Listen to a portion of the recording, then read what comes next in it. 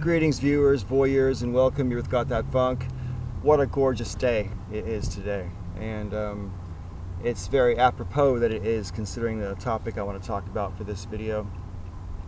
My dear viewers, some of you have been here for a long time, and we've been as well acquainted as we can get through this medium, I suppose. I've certainly opened up my head enough times on my channel, and the people who've been around the longest know that the best, and therefore know more about me than others. But suffice to say that uh, for the majority of the time I've operated this channel, I have been a single middle-aged guy. And uh, you know, there was a two-year interval between 2011 and 2013 where I was involved. And that wasn't a very healthy relationship for me, and it was a good thing for me that it ended, although I still miss her on a level, but, you know, it was for the best. Anyway, um, and last year, uh, for my New Year's resolution for 2015, I had resolved that I was going to uh, just stay away from women for the entire year of 2015 and you know sort of not let myself even get interested in anyone even if someone seemed interested in me and just take the year off and reflect on my my romantic history and uh, try to figure out if I had to uh, basically disassemble any any any garbage and throw it away. You know what I mean? And uh, so I did that. I did a lot of reflecting last year, and part of that process was me deciding whether or not it was possible for me to come to terms with the possibility that I might be alone and single for the rest of my adult life. that's that's a rest of my adult life. When you're in your 50s, there's no other kind of life. Anyway, um, so yeah. I was preparing myself emotionally and, and, and mentally, I suppose, for the probability that I'd be on my own. And, you know, that's always possible still, but I turned 54 on the 10th of June. And coincidentally, on that same day, I met literally the most incredible woman I've ever met in my life. Um, a friend of mine seems to have fixed us up. I was unaware that this was going on at the time. Um, I invited uh, a few friends to join me for bowling on my birthday. And uh, one of them said, oh yeah, can I invite my other friend? And you know, I think you might like her. That's all he said. And I'm like, of course, you know, the more the merrier. And I didn't have any impression whatsoever that it was any kind of a fix-up. And uh, when they arrived at the bowling alley, um, they were coming down the stairway, and I looked at her and I was absolutely captivated and enchanted, but I tried to play it cool because I wasn't sure if, um, you know, if she was there with any expectation of meeting me as such. You know, I, I, I wasn't sure. I, I, I, certainly didn't get the vibe of it. But then when I saw her coming down the stairs, I'm like, hang on a minute. You know, she's a lot older than he is. And uh, it just automatically made me go, oh, okay.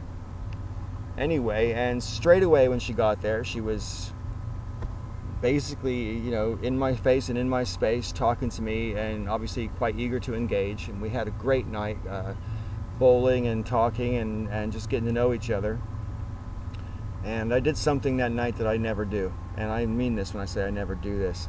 We were in the middle of a conversation. Uh, I don't even know whose turn it was to bowl. And she and I were just talking and uh, there was like a pause in, in the conversation and i said to her i said listen i already know i want to see you again can i please have your number so we can get together sometime soon and she's like oh yeah and she plugged her number into my phone and then we carried on talking as if that didn't happen and um, yeah that was really nice and subsequent to that i have talked to her and spent a lot of time with her and i find myself feeling feelings I haven't felt for 30 years.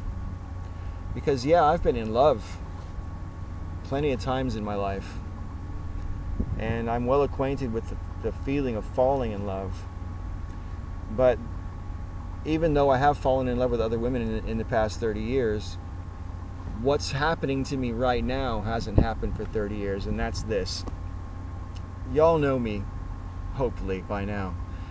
And, you know, I'm, I'm pretty self confident, self-aware kind of person.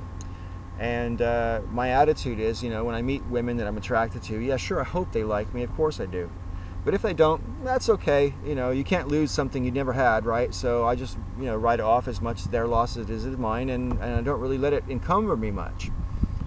But when I met this woman, straight away after after uh, we parted that night, I'm just like, God, if she doesn't if she doesn't fucking like me, I'm gonna be gutted. I never feel like that. I never give a fuck, really. I mean, normally normally I'm like, yeah, I hope they like me, and if not, okay, that's fine you know, I'm cool single, and even so, there's plenty of fish in the sea. So either way, I don't have to be really, really. But I mean, if if this chick slips through my fingers, I'll be fucking gutted, gutted. She's fantastic. Uh, she's a professor of archaeology at a university, and she teaches other courses besides archaeology as well.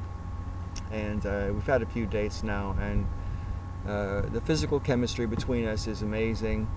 Uh, the conversation flows really easy and can meander from all sorts of different subjects within the same conversation. She's funny and she appreciates my sense of humor. She's knockout gorgeous, which is a huge bonus for me. And the most important thing of all to me is she really, really seems to like me and she really seems to fancy me. And she really seems to respect my quirky, that, you know, all this shit. Um, and that's important. so yeah, I I, I, I kind of think I'm falling in love. Um, I'm not there yet. I don't know her well enough to be able to say that I love her, but everything I know about her so far, I love that. And um, I'm certainly looking forward to getting closer and more well acquainted. And if I have any say in the matter whatsoever, I'm playing for keeps. I, I, I, I never thought that I'd feel this way again. She makes me feel great about myself as well. I mean, the fact that a woman so stunning on every level, intellectually and emotionally and physically, could fancy someone like me, it just makes me feel amazing. And uh, normally it's weird. Like I say, I don't normally depend on that kind of validation from other people to feel good about myself. But she makes me feel better about myself than I do normally. So yeah, bonus. And I really care about her. Um, I would love to dedicate myself to her happiness and, um, you know, share a lot of good times because, you know, life is short and uh, it'd be nice to find a love that lasts on that note, I think I'll end the video. I want to thank you guys for indulging me for this one, and I look forward to the comment section. Hopefully I'll see you again soon on this channel, but if not, I'm always on the Breakfast Club every Monday, except for last week, of course, when I had a migraine that would make Gandhi kick babies. But anyway, I digress. I wish you all a pleasant day. May all your ups and downs be ups.